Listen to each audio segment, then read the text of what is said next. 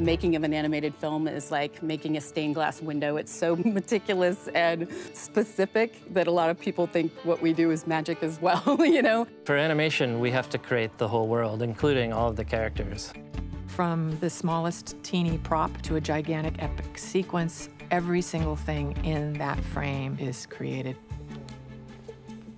I really fell in love with the landscape of China, the cities of China when I was doing my research. It was an incredible experience to be in a city so large. The sights, the smells, the sounds, like there was something for every sense, and that was something that we wanted to capture in the movie. Selfie!